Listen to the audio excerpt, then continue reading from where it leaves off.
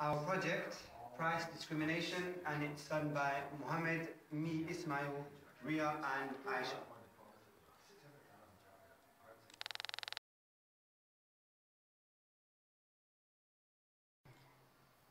Market segmentation means splitting the market into two. Therefore, there's going to be two demand curves, one inelastic, one elastic. Therefore, the firm must capture these markets. For instance, um, iPods.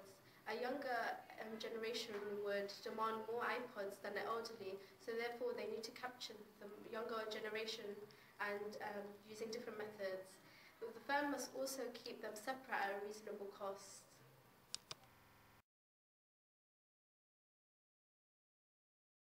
they do it? It requires market segmentation, where they split the market into two. Um, and they somehow discourage customers from becoming sellers, resellers, and this can be done by people buying stuff from abroad and selling it into another country. Okay.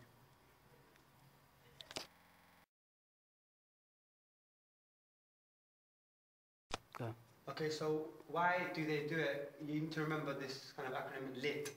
Location, income, and time. By location, we mean kind of where it is, where the situation is. So for example, you find that coffee in central London is a lot more expensive than coffee at, at your local shop. By income, it's kind of the difference between the rich and the poor. A rich person is much more likely to be able to afford an expensive airline ticket, while a poor person is the one that's more likely to go to the cheaper one. And finally, time. When you're in a rush for something and it's urgently needed, you will pay whatever is needed to get what you need, basically.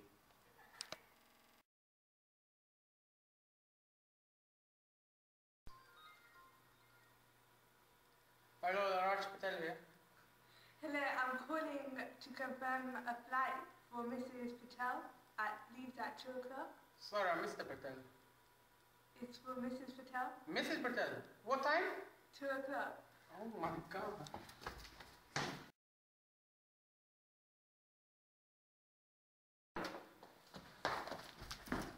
Any tickets to Mumbai, India? Any? One Now. minute, I can check.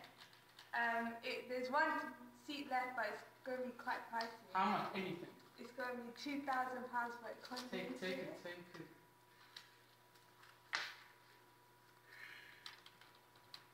How much? Two thousand.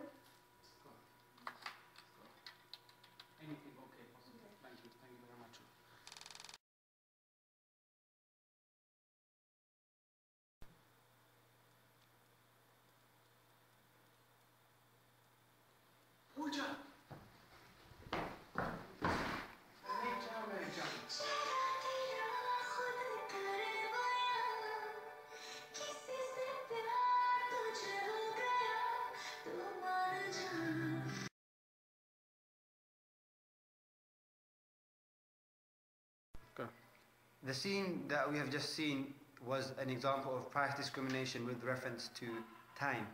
This is because the Indian person acted out by Muhammad was in desperate need for a ticket and he was willing to pay any price possible.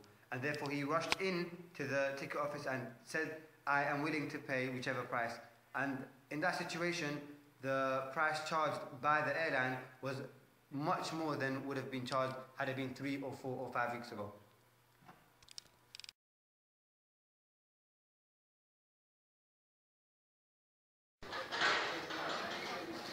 Assalamu alaikum. Alaikum salam. How are you? Alhamdulillah. I would like some curry, please. Sorry? What do you Buy some, please. Thank you, brother. Thank you. We didn't serve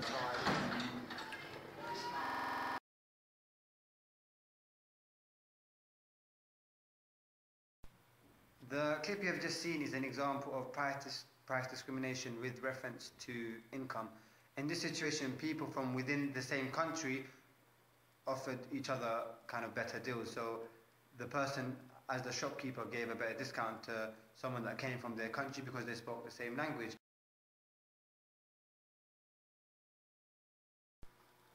Is price discrimination good? It first of all allows for dynamic efficiencies, allows the poor to get what they need for a price they can afford, and allows unprofitable businesses to avoid going bankrupt.